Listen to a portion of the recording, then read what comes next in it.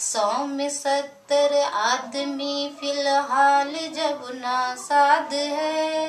दिल पे रख कर हाथ कहिए देश क्या आज़ाद है?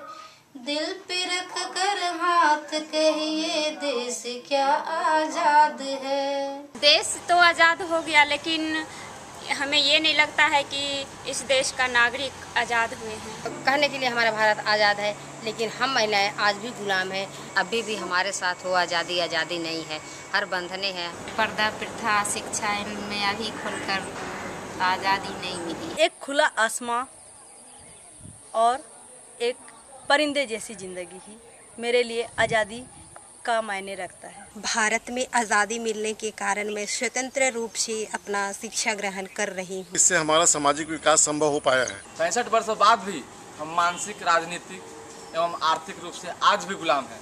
आज स्थिति यह बनी हुई है कि देश विकास कर रहा है परंतु गाँव की स्थिति ये है बदतर से बदतर होती जा रही है। हिंदुस्तान की आज़ादी देखकर ऐसा लगता है कि हिंदुस्तान आज़ाद सिर्फ़ यहाँ के नेताओं के लिए हुआ है। आम जनता के लिए यहाँ कुछ भी नहीं है। जैसे ही हो रहा है वैसे ही भ्रष्टाचार अधिक ज़्यादा होते ही चले जा रहा है। आज भी हम रूढ़ीवादी सामाजिक व्यवस्था एवं कई सामाजिक ताना बाना के जंजीरों में जकड़े हुए हैं। आज भी हमारे समाज में भ्रष्टाचार लूटपाट बलात्कार चोरी डकैती जैसे अनेक कुरीतियाँ मौजूद हैं। अशिक्षा दरिद्रता भ्रष्टाचारी जातिवाद क्या ऐसी ही आज़ादी की कल्पना किए थे हमारे पूर्वज?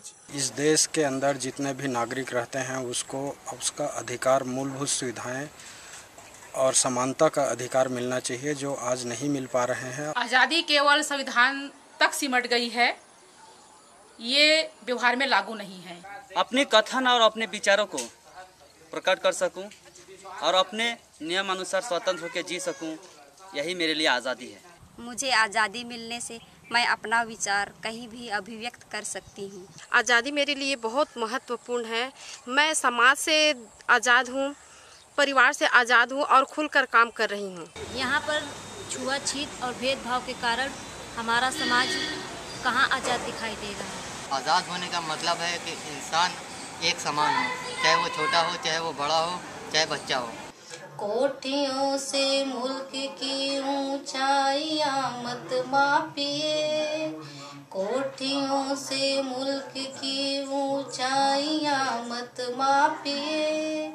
असली हिंदुस्तान तो फुटपाथ पर आबाद है।